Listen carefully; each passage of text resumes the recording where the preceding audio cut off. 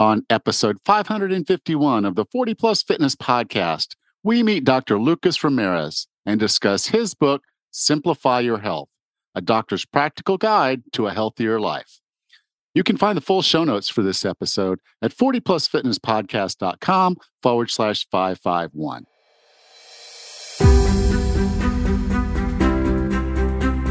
Have you decided you're ready to make a change? To reclaim your health and fitness? The 40 Plus Fitness Podcast is here for you. Each week, we dive deep into health and fitness topics that affect those of us over 40. I'm Allan Misner. I'm an NASM certified personal trainer with specializations in corrective exercise, behavior change, and fitness nutrition, a FAI certified functional aging specialist, and an OTA Level 2 online trainer. I'm joined each week by our co host, Rachel Everett. She is an NASM certified personal trainer and a RRCA Level 1 run coach. Let us be your coaches as you find your way on your health and fitness journey, all right? Let's go.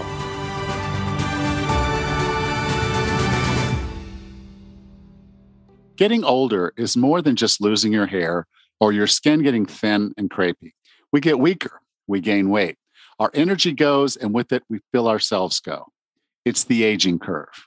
You look in the mirror or you see a reflection in a window and ask, Who is that old dumpy? And you look away. There goes the confidence. Aches and pains seem to pop up like dandelions in your yard. If having an active retirement was part of the plan, well, what if I told you that you make this decision each and every day?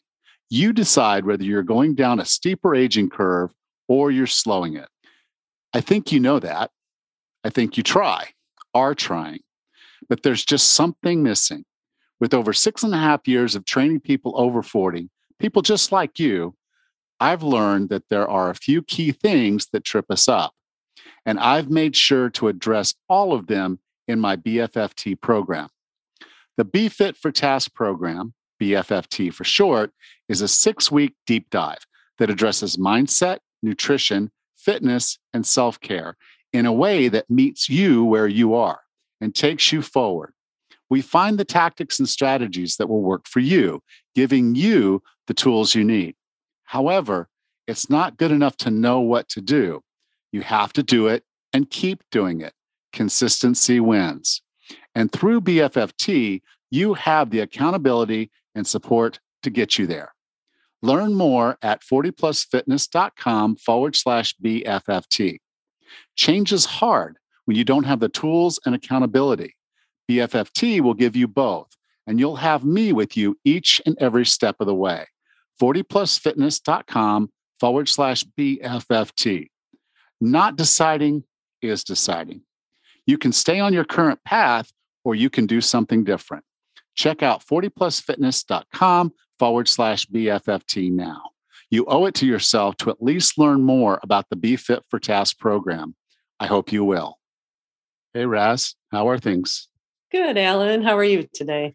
I'm uh, tired, but uh, yeah, yeah. Tammy, Tammy took our granddaughter back to the states, and right. um, since we're on reduced hours for our staff, and one of our staff is on her month-long vacation mm-hmm. holiday, you know, they get paid vacation for one month, uh, and we opted to not have them here for that month rather than just pay them a 13th month, which is what some mm-hmm. people do. So that was me by myself this morning doing all of it. And oh, so, but boy. I was late getting on this call because I was actually folding guest laundry because uh, oh, we have a laundry service that we do, and so guests turn in laundry, and I was like, okay, got to get this done, got to get that done, and you know, so we make certain promises like wash, dried, and folded by dinner if you drop it off at breakfast time. So uh, nice. I do have a deadline, but uh, oh, but also something pretty interesting happened. One of our guests was going out to a chocolate farm. Mm. And when I reached out to the guy who was running the chocolate farm to get information, and my guests were just about to leave, he said, Look, I've got this animal that is hurt, and someone brought it to me, and I can't take care of it. It's got problem with its jaw. And uh, I, can you ask the taxi driver to the water taxi to bring the animal back? And I said, Well, let me ask my guest because you know they'll they'll either be willing to do it or they won't. Um, mm-hmm. and so I asked my guests, and they they were. So they brought the the animal back in a uh, box. It was a tayra, which is a like a type of weasel, a cute oh. little black little Tayra weasel thingy. Um, just cute, but um, we got it back here. Uh, got it into the local rescue. Uh, they tried to do some surgical work on it, but not knowing the anatomy of a Tayra. Um, I don't know anybody that does, but mm-hmm. they knew some people in David, which is a town about five hours drive from here, and so they um, they got the animal to David, and wow. I tried to get a catch up on what happened, uh, uh-huh. but the guy that runs the runs the rescue, he's got dengue, so uh, oh. he's out for the count. You know, dengue is uh, not dissimilar from what you would do deal with any other kind of virus or, you know, thing like that. So it's almost mm-hmm. like the mm-hmm. flu, or as it's like mm. a flu. Uh, most people get over it fairly simply. Um, but yeah, he has dengue, so he's not answering his his messages. So I don't know exactly, but we do know that we got it somewhere where they can take care of it. Wow! Uh, and it seems healthy. It just it struggles a little bit with eating, but it can eat. So, oh, uh, but it wouldn't be able to hunt for itself or do the things that it would need to in the wild. So mm-hmm. it'll have to be taken care of. But um, oh. yeah, so little wow. little, ba- little Tayra. They, they, told me it was a baby, but it it it was pretty much full grown. Oh, um, oh, wow. And I, now, you know, when they're bringing you an animal, you're like, well, I got to know what this is. So right. I started doing all the research on Tayras. How fun. Man, that's so interesting. You guys have some really interesting wildlife there. Yeah, yeah. It's, um, well, Michigan has their their fair share too, but you, you've got snakes and, and turtles mm-hmm. and frogs and uh, yeah. sometimes you don't have the frogs because there's a right. snake yes. Yes we still have our snakes hanging around not too pleased. Yeah. Well there's yeah. a cycle there's a cycle. That is true. So what's going on up there? Just enjoying the summer. It's going by way too fast. Um, july went out like just too fast. So much going on and I feel like August is going at the same rate. In a couple weeks, we'll be on Isle Royale, and then it'll be September. So, just trying to eat up as much as I can, eat just sunshine, and get outside and do what I can when I can. Yeah, well, good, good. Mm-hmm. All right, mm-hmm. are you ready to talk to Dr. Ramirez? Sure. Our guest today is a vascular neurologist specializing in the prevention and treatment of neurologic emergencies such as strokes and brain hemorrhages. Trained at the renowned academic institutions in Los Angeles, he now works in Southern California at one of the most reputable hospital systems in the nation. His published research is in the top 5% of all research outputs ever tracked by Altmetric. His experiences ignited a passion for stroke prevention, driving him to integrate disease prevention and community education into his practice. With no further ado, here's Dr. Lucas Ramirez. Dr. Ramirez, welcome to 40 Plus Fitness. Alan, thank you for having me. So, today we're going to talk about your book, Simplify Your Health A Doctor's Practical Guide to a Healthier Life. And I can say two things really right off the start is I like simple. I think everybody likes simple. We're always looking for simple. And then practical. And your book delivers on both of those. Thank you. I appreciate that. Now you had a quote, or it's not a quote; it's you said it. but I'm gonna I'm gonna quote you in the book just to kind of put this together because I think this is really the crux of if someone wants to understand what this book is all about. And you said by targeting a few simple lifestyle choices, one can make a world of difference in overall health by decreasing the risks of stroke, heart attacks, cancers, and more. And you know, I, I, I think this is an approach that a lot of uh, people are not familiar with. I mean, I think anyone that's listening to me is, but a lot of us wait until one of these things happens, and then and then and then we get the, the care. Uh, versus your book is saying, okay, we have an opportunity here to make sure these things actually don't ever happen. Absolutely. I'm a stroke neurologist, and I can say firsthand it's much, much better to prevent rather than to treat. Yeah. Now, when we talk about staying healthy, because I think a lot of people look at their ancestors and they say, okay, well, you know, my grandfather died of lung cancer or esophageal cancer kind of thing. My uh, grandmother had a stroke when she was in her 30s or late 30s. Uh, you know, this happened to that family, this happened to that family some of us just feel like our genetics are cursed. So how much how much control do we really have over these things? Yeah, I'd say for the um, vast majority of us, we have a surprisingly a big amount of control. I mean, obviously, there's inevitabilities in life. At some point in life, we're going to get sick. That's that's life's journey. And like they say, there's only two guarantees: is taxes and death. But within that journey of life, there's some things we can definitely control. We have we can separate risk factors into two broad categories the non modifiable, things we cannot control, and the modifiable, the things we can control. Some examples of non modifiable are age. I mean, obviously, somebody who's 90 is going to have more risks than somebody who's 30. And things like genetics are rare conditions that unfortunately is difficult to manage. For example, African Americans have more chances of sickle cell disease. Caucasians have more chance of cystic fibrosis. These are realities of life. But outside of those those small genetic variations, we have a lot of control over what we do and our lifestyle habits. For example, globally, uh, strokes, um, 87% of strokes are due to modifiable risk factors. So these are things that we can change simply by adjusting our habits. And it's not just strokes, there's a lot of conditions that are due to modifiable risk factors. If we look in the US, the leading causes of death in the US um, are one, heart disease, two, uh, cancer, uh, three, accidental traumas, four, COPD, and five, stroke we can say that about 90% of heart attacks are due to modifiable risk factors. 8 out of 10 COPD deaths are due to smoking. About 90% of lung cancer deaths are due to uh, smoking. About 30 to 50% of cancers can be prevented by lifestyle changes, including not smoking, managing weight, and doing uh, screenings. And in terms of accidental trauma, car accidents are major portions of accidental trauma, and about 40% are due to alcohol. So we can see that uh, of these five top causes of death in the US, many of them are preventable by lifestyle uh, changes. And in terms of stroke, 80% can be prevented by targeting just five specific habits. And they are not smoking, managing high blood pressure, um, managing your weight, so avoiding obesity, eating well, and exercising. And there's some data that these five underlying causes are actually, quote, the true causes of death in the US.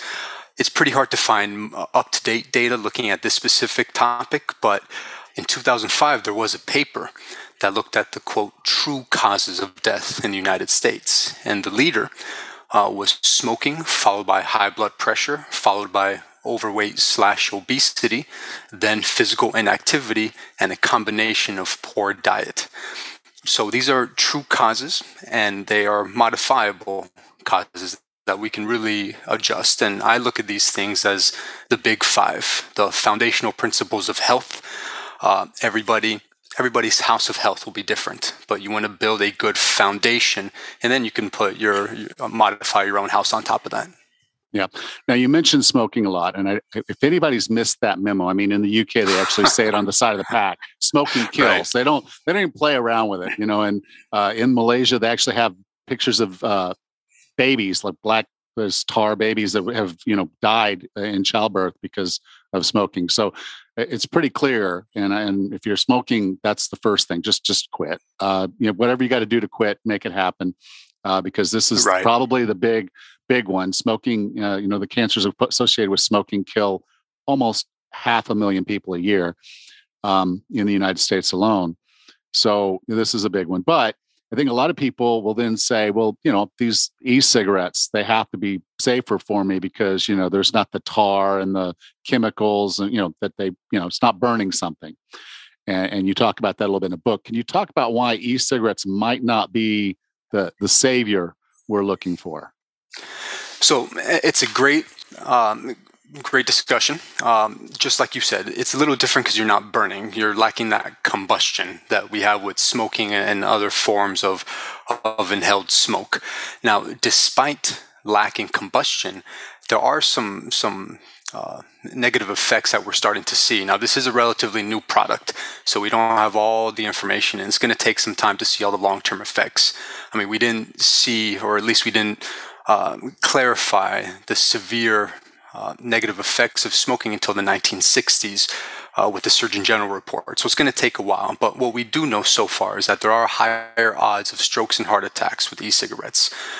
Maybe it's related to impaired endothelial function, but we do know there's higher odds of strokes and heart attacks. There is an association with seizures and other neurological problems, and this I've seen personally in the ER. Uh, there is associations with chronic cough, phlegm, bronchitis, possible increased risk of some cancers like bladder and lung, but again, these are not completely solidified. Uh, for sure, there is a really bad entity called E Valley, the e-cigarette or vaping associated lung injury. Uh, now, the more robust data I've seen was back in 2020, where at that time it was over 2,700 people hospitalized and 60 confirmed deaths. And this was just as the pandemic was starting. So, COVID, I think, kind of put this on the back burner. Uh, we do see, in related to COVID, there's worse COVID outcomes in people who use e cigarettes. And a lot of it may be related to nicotine itself in terms of some of these um, overall poor outcomes because of the association with nicotine and the potential promotion of cancer, and metastasis, of plaque progression, uh, some adverse effects of reproductive health, and of course, acute toxic effects and high amounts of nicotine. In severe cases, seizures, which again, with e cigarettes, I've personally seen this as well. But some of the substances within the e cigarette liquid, some of the vitamin E and other things, were um, thought to be the, the causative factors of this E Valley entity. And of course, it's addictive. Uh, that was the main reason of the explosion of e-cigarettes, particularly among, amongst the youth. Uh, but thankfully, it seemed that after 2019, some of the rates of e-cigarette use in the youth uh, have decreased. But even in 2021, still 2 million high schoolers and middle schoolers were using e-cigarettes. And the problem there is that you're more likely, if you use e-cigarettes, to smoke traditional cigarettes, seven times as likely to try cigarettes, and eight times as likely to be current cigarette smokers if you have a history of vaping. And the problem with that is if you smoke as a teen, three out of four times you're going to also smoke into adulthood. So that's just increasing the risk there. And so much so that uh, in June of just this past year, FDA banned Juul products, one of the big makers of e cigarettes. Yeah, they they have a big portion of that market, and I guess the thing is, we, we you know, so the, the base point of this, the takeaway is that e-cigarettes are not necessarily safe. Uh, but you talked in the book about how, and I know this is a strategy one of my friends used about how you can use these cigarettes as a kind of a bridge, along with maybe gum and patches to get off of cigarettes. So there's definitely some evidence that e-cigarettes can increase the rate of smoking cessation. But there's also evidence that the majority who try to quit using e cigarettes end up using both. So it's a little bit difficult. But what I can say is if you have nicotine gum, nicotine patches, if you have other um, um, medications, probably better to do that rather than using e cigarettes because it seems like e cigarettes are going to have some other potential side effects but others will say if you had to choose e cigarettes or smoking, probably e cigarettes is safer, though ideally we would use alternative products. Okay. Now, the other one that, that comes up a lot, and it's it's more and more because it's be, becoming legalized in a lot of our states in the United States, is marijuana. And uh, it's interesting to me how many people think that marijuana is um, just completely safe. It's no one's ever died of it. No one's ever and um, obviously, because it's been uh, illegal uh, for so long in the United States, this isn't something doctors can just go out, could go out and just study. Say, well, let's study how safe it is and look at people who are, you know, traditionally, you know, long-term marijuana smokers. Right. You know, it's not like someone can show up for that study because if they did, the DEA would be sitting right there uh, to round you up. Um, yeah. So, uh, can you talk a little bit about marijuana and some of the data we have on how safe that might be? Yeah. So I'll connect it to a prior comment about lighting. So the combustion. Uh, combustion occurs anytime you, you kind of light a carbon containing product. It could be a, a tree, part of forest fires. It can be coal when you barbecue. It can be tobacco with cigarettes, or it could be marijuana. And when you look at combustion, the smoke byproducts of combustion have toxic effects, and, and two specific chemicals within it are free radicals and particulate matter. I saw a, a, piece of data that I really liked to, to bring to light and in terms of particulate matter. When we look at air quality, the WHO rates good as less than 25 micrograms per meters cubed. So that's good air quality. And hazardous is greater than 250. Now, if somebody is smoking uh, and you are the backseat or a backseat passenger within the car, the particulate matter will exceed hazardous levels by 100 times. That's 2,500 particulate matter per uh, micrograms per meters cubed. That's 100 times hazardous levels. And that's if you're a passenger of somebody who is smoking in the car. So imagine if you're directly smoking. That's just a lot of particulate matter. Uh, and free oxygen radicals, uh, one could look at it as oxygen that we breathe is in O2 you have protons, neutrons, and you have electrons that are typically paired. When they become unpaired, they become highly reactive. They are damaging. They are damaging to fat, to proteins, to DNA, and more. So the combination of having free radicals and particulate matter are damaging to arterial walls. They modify cholesterol. They cause secondary inflammation, and all of this can lead to plaque buildup. And if you have plaque buildup in the heart, that's heart disease plaque buildup in the neck or the brain, you can get uh, elevated risk of strokes. Obviously, if you have damage to DNA, you have risks of cancer. And is there a great connection long term, or, or at least studies that correlate marijuana to these risks? As of now, there's nothing great to, to say with a guarantee. But similar to e cigarettes, it's going to take time to see some of this data. But this is what we can say for now. Uh, one, uh, marijuana in and of itself, smoked, is not healthy. That's just a misconception. But chemicals within it, if they're purified, concentrated, can have beneficial effects. We do know that uh, it helps for certain types of seizures. We know for Dravet syndrome, for Lennox-Gastaut syndrome, uh, FDA has uh, uh, FDA has approved CBD, specific CBD for the treatment of that. Uh, it seems to have beneficial effects in pain management, for nausea and vomiting, especially if chemo if chemotherapy related, for spasms, for appetite and weight gain. And there's some interest in Parkinson's, interest in migraines that they're studying. Uh, but the delivery method is not smoked in these. They can be in, in pills, um, they can be vaporized, they can be powder, they can be nebulizers, but they're not smoked because you don't want that combustion byproduct. Now, clearly, there's negative effects. There's emerging evidence of increased heart disease and stroke, potentially related to inflammation of the blood vessels, which makes sense because of combustion. There's some association with chronic bronchitis, respiratory symptoms, unclear if asthma or lung cancer, but again, this may take time to solidify. Now, most profoundly, there are clear cognitive and psychological effects, and there's substantial data with temporal association between cannabis use and future psychosis. In general, roughly, we can say you have more than two times the risk of future psychotic disorder with use. It's worse when you're younger and worse with more frequent use. For example, daily use in general has a three times increased risk of psychotic uh, disorders in the future and higher potency THC increases it five times.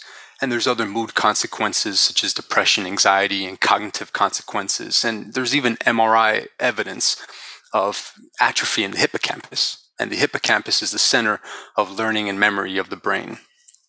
Uh, now, with all this said, the reality is most adults are not going to develop uh, these conditions with occasional use. But one thing I do clarify and, and, and reiterate is occasional and adults. Now, schizophrenia affects only about 1% of the population.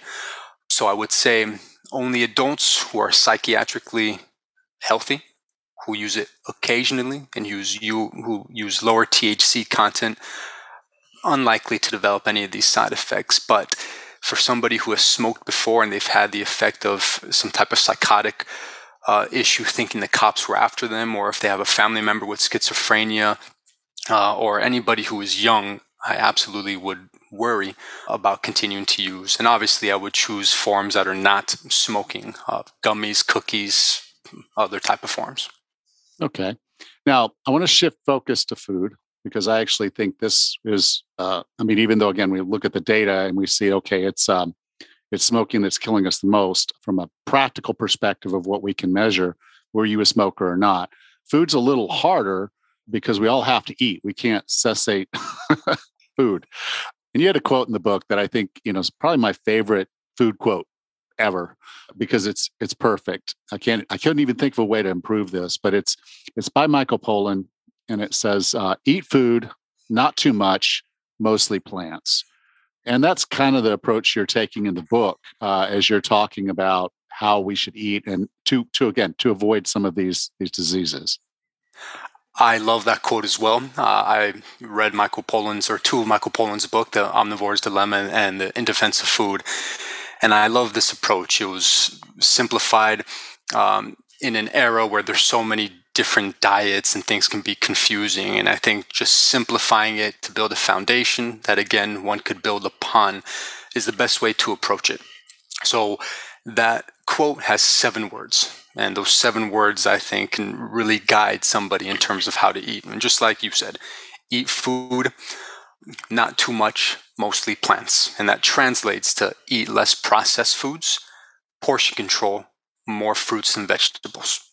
So we can talk about processing of foods. Uh, in general, highly processed foods have more calories, more sugars, more sodium, less protein, less fiber, less vitamins, less minerals, and aside from having the actual nutritional products that are less healthy, there is data correlating more highly processed foods to health outcomes. Eating more and high amounts of highly processed foods does increase your risk of heart disease, of stroke, and just higher risk of overall mortality. The second part of that is portion control. Uh, the average daily calorie intake in the US in the year 2000 was about 300 calories higher than in the year 1985. And just mathematically, that's equivalent of 31 pounds of excess calories.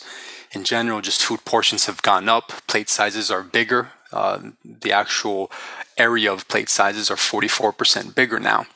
So, portion control is just one of the underlying recommendations. And lastly, in that part is eat more fruits and vegetables. And only one in 10 US adults get enough vegetables, two in 10 adults get enough fruits.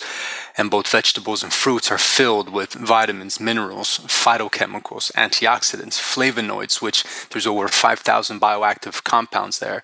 They're nutrient dense, they have less calories, they're low in fat, they're high in fiber, and they're just products that are just extremely good for us and we don't get enough of it. So rather than trying to get specific diets, just this overall concept of portion control, eat more fruits and vegetables, um, and trying to have less processed foods is the underlying message of of how one could kind of adjust their habits rather than dieting. And we can go into more data of it if if uh, we wish there to. Yeah, no, I mean, you know, the, the core of it is this: uh, you know, you want to eat nutritionally dense food versus calorie dense food, and and this succinctly puts you on that trail uh, to avoid the diet traps and everything else. To just know, okay, is this real food? Do I know what a portion is? And am I not overeating it? So I know I'm full. And then finally, yeah, just pl- plants and uh, you know some proteins. And what I found is, and I can tell someone this: you you can't you can't overeat fruits and vegetables. It's it's it's physically impossible. Uh, you know, try try to eat five ounces. Try to eat five ounces of uh, spinach. Just just try. Make a salad with five ounces of spinach and, and try to eat it. yeah, you'll be sweating. You'll be sweating. I promise. Yeah. I do it. I do it all the time. But you'll be sweating. You could blend it and process it again, and then yes, drink it down with other stuff, and it just seems to go really easy. But you know, and you can cook it down and eat it and it seems to go really easy but uh, you know eating whole foods and and paying attention to what you're putting in your mouth is really really important so i do appreciate Absolutely. this opportunity and you went into the book i don't really want to go deep into it because it's a uh, it's a it's an important issue and that's why i encourage people to get the book is you do also talk about obesity the connections to some of these diseases and then of course you know we have the the whole concept of how people feel about this word and, and the way things are. And I appreciate that discussion in a book. And so I'd encourage someone to get the book to go through that because I think it's really important. But uh, I want to step out for just a minute because there's one area that you you highlight in the book is maybe beyond the other things that we can control that maybe is one of the more important ones that gets ignored because it has no outward symptoms until it does um, and that's our blood pressure Yes, that for me, blood pressure is probably the easiest thing you can do and the most impactful thing you can do because it doesn't really require, let's say, running five miles a day. It requires sitting down, putting a cuff on your arm, noting if it's elevated or not, and seeing your physician. And this is something that could completely change somebody's life. It's the leading contributor to preventable death in the world in the US, it contributes to 500,000 deaths per year. It's the leading cause of stroke in the world. And it's not just stroke, it's a leader in, it's the leading cause of brain bleeds. It's a leader in burst aneurysms, of heart disease, of chronic kidney disease, of a subtype of dementia called vascular dementia, of heart failure, of atrial fibrillation, of, of much more. And the higher the blood pressure, the higher the risk. And it causes all these things because it has uh, such potent effects on both the large and the small arteries. In the large arteries, it can lead to plaque formation, and in the small arteries of the body, it can lead to thickening of the small arteries. And in the large arteries, again, if it's in the heart, there's heart disease. If it's in the neck and the brain, there's strokes. In the small arteries, there's a lot of small arteries in the head that could also cause strokes and vascular dementia. But some of these small vessels are also present in the kidneys, and that leads to chronic kidney disease. Um, you have increased resistance. So when the heart is pushing on the resistance, it can thicken and you get left ventricular hypertrophy. You can get diastolic heart failure. You get remodeling of the heart, which could lead to atrial fibrillation. So it's just a lot of negative effects on it. But the good thing is that some of these effects in the arteries start really early in life. And one would say, why is that good? Well, if the fatty streaks start in our teens, then we have an opportunity to prevent this very early on and try to halt the progression early on before it causes damage. And the problem here is that about about a third of young adults don't know they have high blood pressure.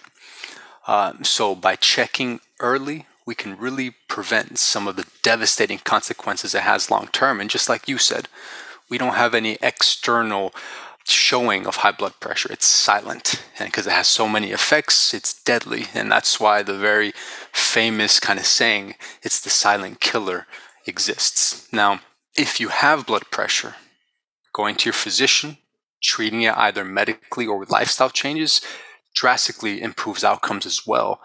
Uh, by decreasing your pressures by five points, you decrease the risk of cardiovascular events by about 10%. So, not just prevention, but treatment, if you have it, is paramount. And for anybody who may not know what's considered high, uh, normal blood pressure is 120 over 80. Typically, they say high is 140 over 90. So, target that 140 over 90 and below. Certain individuals, we aim for less than 130. But if you're seeing readings near the 140s or above, just reach out to your physician and see what plans you can make. I would emphasize I personally have a lot of patients who don't like medications despite having strokes. And I really try to tell them don't fear medications if they are necessary. Yes, you want to change your lifestyle, and I would change your lifestyle while starting medications if that's what a physician recommends. And you can work your way off medications. There's some data showing that with diet modification, like the DASH diet, managing weight and exercise, only about 15% of patients still need these blood pressure medications. So I would just think of it as the most important supplement you've ever had or needed in your life, and maybe you can come off of it. Yeah. Um, when I first started my um, my reversal of my health, trying to get myself back together, uh, yeah, I had high blood pressure. So my doctor put me on a, on medication uh, to get it down uh, you know, you go into a doctor's office and they kind of expect an elevated blood pressure because, well, you're in the doctor's office. so you're going to be, a lot, that's why they're going to say 140 over 90 is, is probably fine because there's an expectation that when you go home and you're in a better environment, that your blood pressure drops. And what I can say is if you're in a very stressful job and you have a very stressful life at home and other things are going on, it might not drop as much as you think it does. Absolutely. And so you're going to be happy to hear that I just put a blood pressure monitor in my Amazon cart uh, so the next time I check out, I'll have one of those. But Excellent. you need to, you know, and you talked in the book. It's like don't just wait till you do your annual checkup. You know, mm-hmm. these are not expensive. I think my unit, I went for a, a slightly higher price unit. It was still like less than sixty dollars. And it's there, or you can walk into a, a drugstore, or you know, go over by the pharmacy in Walmart. They typically have one of these little machines there, and I believe you said in the book that they're the differential of what they have is not significant. So you can kind of rely on that to see if there's at least a problem, if there's a trend, uh, and know that you need to go talk to your doctor. But I completely agree with you. Take the medication until your lifestyle changes, allow you to get off the medication, which is the, the path I took. Good, and I'm thrilled to hear that you bought yourself one. I mean, I, that's that's the main thing. Just something so easy, one to monitor themselves at home. So if I impacted one person, I'm happy. well, I'm 56 years old. So, you know, as you start looking at your health, you're like, I'm not invincible. Uh, I may have felt like I was invincible when I was in my 20s and maybe well into my 30s, but there's a point where you realize it's like, okay, data data can be valuable, and this is a data point that, quite frankly, is easy to measure. Uh, it takes less than five minutes. You know, you just sit down, you rest for about five minutes, you put the cuff on, it blows up, and then it shows you a number. If you don't like the number, sit there for another five minutes and do it again but um, you know it's not like the scale this is actually telling you how healthy you are yeah it's non-invasive it's quick it's cheap so i would tell everyone and anybody get yourself a cuff or go to your local store and measure it there and just write down the trends and reach out to your physician if it's elevated. So this is extremely, extremely important. I would emphasize it to anybody, and I'm thrilled that you purchased one.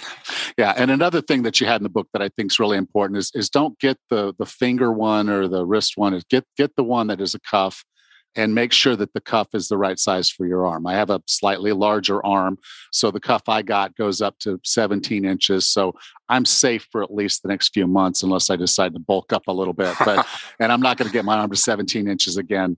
Uh, I'm pretty sure, you know, at my age. But that said, you know, make sure you're getting a good thing, and the book will give you some details on how to select. Uh, you know, make sure it's, it's a cuff and make sure it's the right size. And there's a whole lot more in there.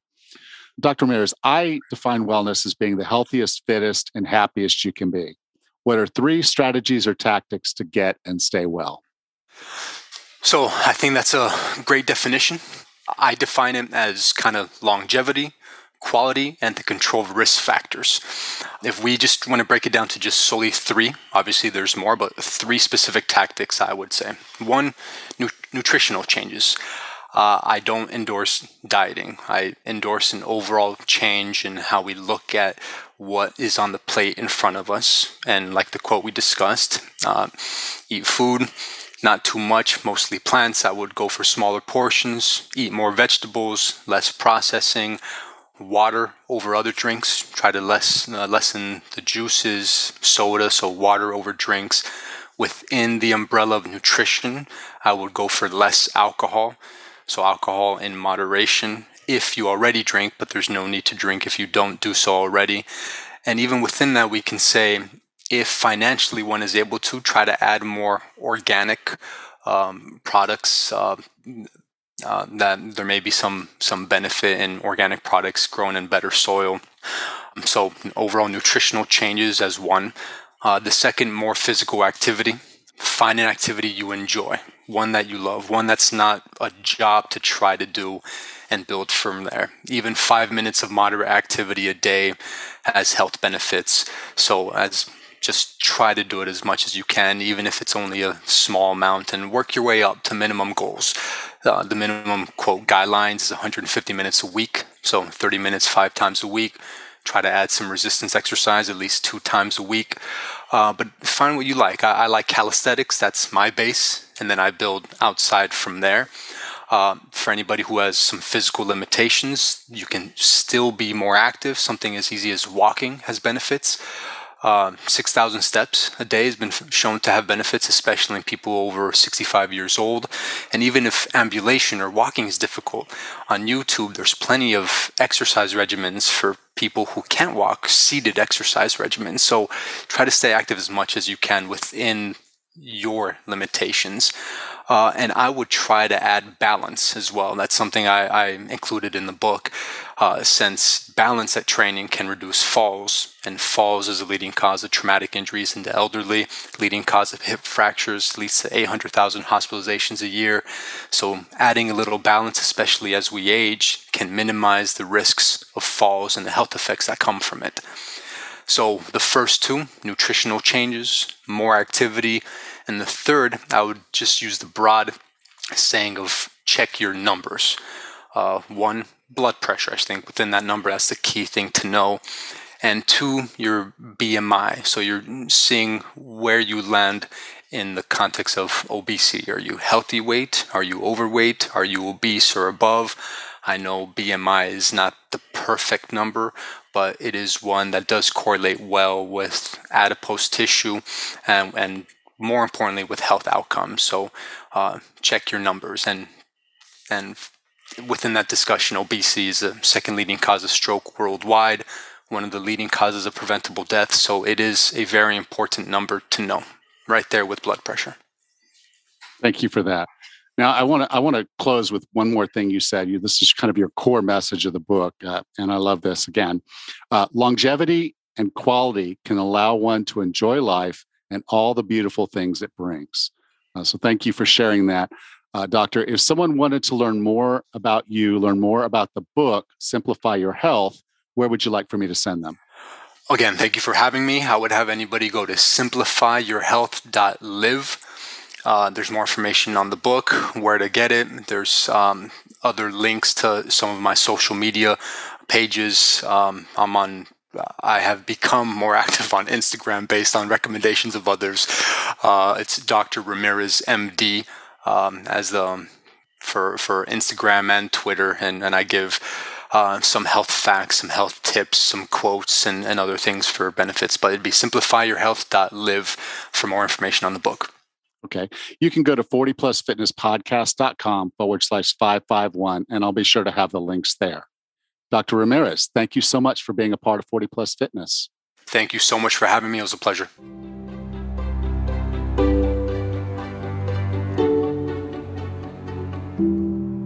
Welcome back, Raz. Hey, Allan. Wow, there's a lot of really great information in that interview, but let's start with the simplify. simplify your health. I love it. We make things so much harder than we really need to. Yeah, you know, that's why when I was looking at doing when I when I created the kind of the temperature check and I was looking for okay, mm-hmm. what are the things I know that work and what are the things to try to put together something. It's like when you want to check in with yourself, what what is the most valuable takeaway? And it isn't okay. Here's three areas, you know, um, your movement, your nutrition, and your self care.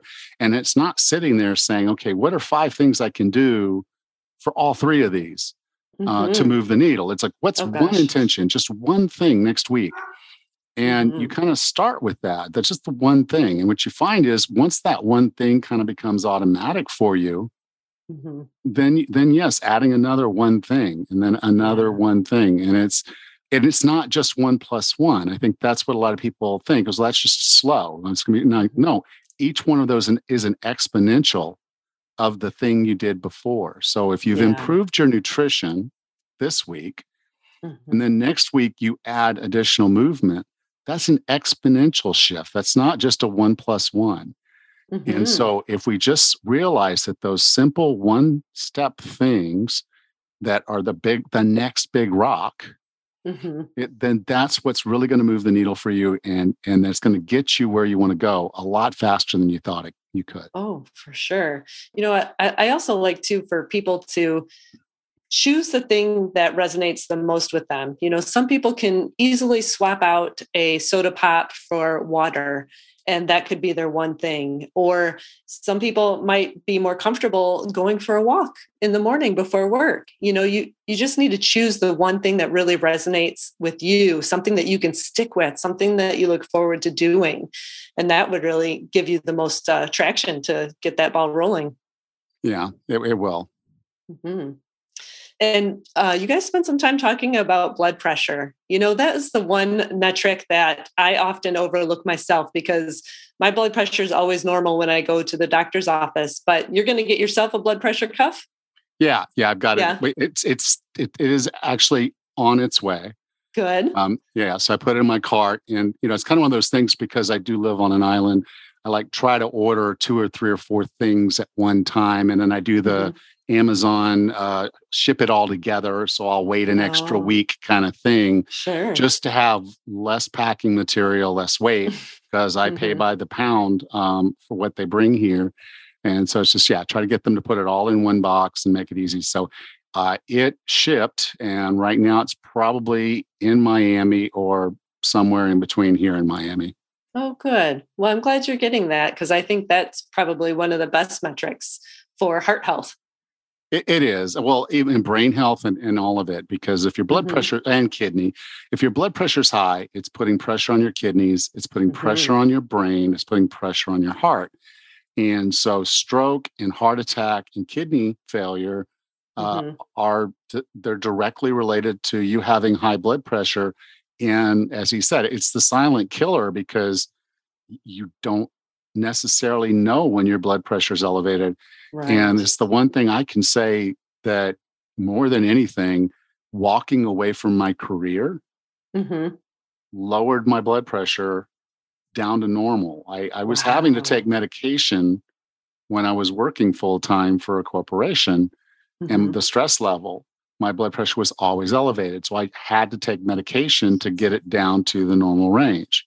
Wow. And I could not get it down, even after losing all the weight, even after getting myself really, really healthy and fit. My blood pressure was still elevated until mm-hmm. I got mm-hmm. laid off and I told my wife, I'm not going back.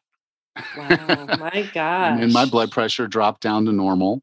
And I've been to the doctor several times since then. And it's it's always normal when I walk into the doctor's office now. That's fantastic. I'm glad to hear that. I don't think that we really realize how detrimental stress can be on our bodies. Yeah, that's it, it can beat you up. It can beat mm-hmm. you up, and and so that just that self awareness. You know, I I had worked on nutrition. I had worked on movement. I had worked on sleep. I'd work. You know, I didn't even set alarm. I was so I was getting plenty of sleep. I was eating well. I was moving well, uh, but I couldn't get the stress done. And then I, you know, even wow. went through a period of time just before the layoffs where I did like three or four episodes on stress mm-hmm. because I wanted to read their books to, to my own stress. Sure, you know? absolutely. And they all had different spins on it. And yes, the breathing techniques helped a little. Uh, mm-hmm. But that was a temporary fix because as soon as the next fire, the next problem, the next phone call, mm-hmm. just even the next phone call was enough to send my stress level up. My goodness. And, you know, then of course I was laying people off and there was just, you know, oh. all that oh. turmoil of that. Uh, so yeah, my stress levels were really, really high. And I, so at that point, from my health, mm-hmm. the next big step, the next big rock, we talk about simplify, sounds mm-hmm. like a big move, but yeah, was figure out a way to not go back to corporate. Wow. And so yeah, it was a big step, but it was it was the thing. It was the big mm-hmm. rock. And until I could get the stress thing done, mm-hmm. and you know, some people have great resilience and they do great with stress, but I just found the older I got, the less resilient I was with stress. And that was For just sure. me. You know, I'm, I'm fully, fully put it out there. It's just stress beat me up more as mm-hmm. I got older. And so I wasn't going to get healthier no matter what. No matter I mean, what. You checked you checked all the other boxes, eating, yeah. exercise, sleep, and all that. So yeah, I'm glad you were able to find a solution for that. Yeah. And then you guys talked a lot about marijuana. yeah. I haven't covered that topic. And there, there have been some books that came out. I reached out to the authors but uh-huh. I guess they were they were off getting high or something because uh, they didn't respond. Uh, mm-hmm. You know, they're not really driven. Uh, well, I hope um, they get back to you because well, I think it's in the emerging stages. Of science. It is. It's still it is. early. I, I will say, based on the titles of the books that are out there, they're very pro marijuana. Uh-huh. and I I knew, you know, of course, reading this book, and he gets into it that that he was not going to be pro marijuana, and so, oh. um, you know, and he's not. He's not. Okay. He's like, you know, there for, there are uses for it, and they're studying for more uses for it. But he yeah. said the vast majority of people don't don't need to be smoking marijuana. It's not healthy. You know, it's uh, people say, well, it's healthier than. I'm like, okay, so getting hit by a motorcycle is healthier than getting hit by a car. Mm. Um, you know, you can you can you can justify anything as healthier than mm-hmm. um, because there's always something less healthy. And if we want right. to compare ourselves with something that's yeah. less healthy, uh, you know, same thing with e-cigarettes. You know, we know that they're not healthy. They're just you know you know they're not healthy. Um, and and so maybe you know edibles are, are healthier than mm-hmm. smoking it. And if that's the case, then er, you know, it's mm-hmm. healthier er. It does not equate to healthy. And, you know, so that's that's just the takeaway from that. Yeah. Um, you know, I have tried edibles. Uh, mm-hmm. Uh, and uh, one of two things happens. I just mm-hmm. go to sleep and then I feel like I wasted a whole lot of money on an oh, edible, no. or I eat everything in the kitchen. Um, oh yeah. I mean everything. And so mm-hmm. yes, if I had cancer and needed something that would make me hungry, yeah, that would do it because I'll eat everything in the kitchen. Um, mm-hmm. and so you know, it's not it's not a substitute for anything. Um, and it wasn't it wasn't enjoyable. And so from that perspective, I don't value it. And I know that mm-hmm. some people use and they, they love it and it's they feel like it, it does the right things for them. Uh, but there's there's an, a health downside to it. And until you really acknowledge that, you're fooling yourself. I, I think uh, here in Michigan, it is legal both medicinally and recreationally. And I'm not sure how many states we have now that have approved it for either or. I'm not sure what the current it's, it's a growing number, and I would say it probably is. the majority of states now at least approve it for medical use. But mm-hmm. let's let's just be honest: uh, doctors will write you a prescription for anything you ask them for. So if you want medical marijuana recreationally, you just get a doctor to write a script, and you know you can go get it. So it's you know it's not like it's really controlled like that. And maybe in some states a little bit more so than others, but for the most part, say the vast majority of people in the United States um, can either get marijuana legally as a recreational drug or as through a mm-hmm. doctor. Um, and then it, again, it's not like um, it's hard to get. If you want it, you oh, probably yeah. know the the dealer uh, guy down on the corner or wherever. You know, uh, it's not hard to find someone to give you this stuff if you oh, want oh, it. Sure. But that said, it, it's if you're looking at improving your health, mm-hmm. yes, substitutions are a way, mm-hmm. but not a permanent way to say I'm healthy because mm-hmm. I do these things. Sure. I'd like to see more science come out on marijuana and the use. I'd actually like to see it be a good competitor to big pharma. I'd really like to see something different going on. You know, we have some experience right now. My husband, Mike, has uh, kidney cancer. He's taking some chemo drugs, and the side effects of these chemotherapies are just ridiculous. They're just ridiculous. There, if you ever watch a commercial on TV for literally any medicine out there, the side effects are ridiculous. So I'd like to see if medical or uh, yeah, medical marijuana has a, a leg to stand on in alleviating some of these symptoms that people are experiencing as compared to the big pharma alternative. Yeah. Well, the odd thing is, and you probably I remember this from when I was younger, is that uh, they always called uh, marijuana like for glaucoma. Yeah. And yeah. You know, Dr. Mary says there's actually no evidence that it helps with glaucoma. oh, I've not heard that. I don't know. Yeah. So I yeah, yeah, the science, but, but I'd like. But the whole point is it. they will. They will because more people are using it now, and it's easier mm-hmm. to get. Uh, then scientists are more likely to study it. It's, it is very hard to get a study approved when you're using a class one narcotic. It just mm-hmm. it just mm-hmm. is. They they don't want this out there. They don't want people using it. And so getting it approved and getting it through the FDA, federal, uh, mm-hmm. against the law, is just going to be really, really hard. And unless you have a really compelling hypothesis uh, for it, it's just going to be hard. But that said, more people are going to be using it. There'll be more anecdotal evidence.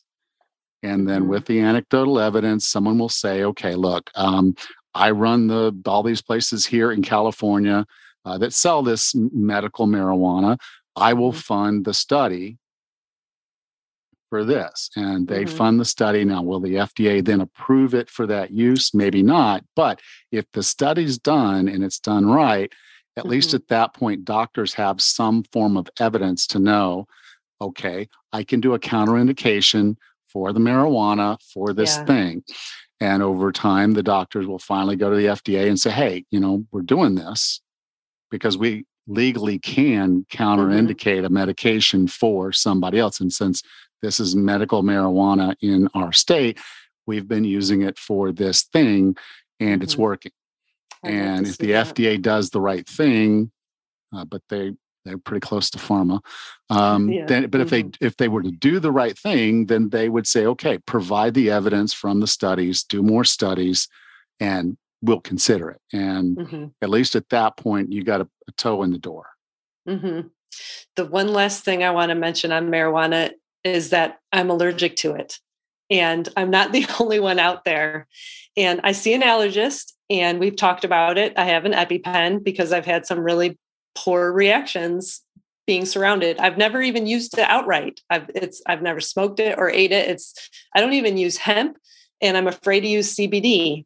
Uh, I just don't want to be near it because I have such a, a terrible reaction. And I know I'm not the only person out there. So I just, you know, if anybody's going to use it, just be smart and keep it in your own home because I can't even smell it. I can't even walk by it. Yeah. All right. Well, uh, Rachel, stay away from the pot. Yes. and- you know I will. yeah. All right. All right. Well, you have a great week. We'll talk next week. Okay. Take care. Thanks. Okay. Bye. Bye. Next time on the 40 Plus Fitness podcast, we meet Dr. Donna Mazzola and discuss her book, Immunity Food Fix 100 Superfoods and Nutrition Hacks to Reverse Inflammation, Prevent Illness, and Boost Your Immunity. Until then, have a happy and healthy week.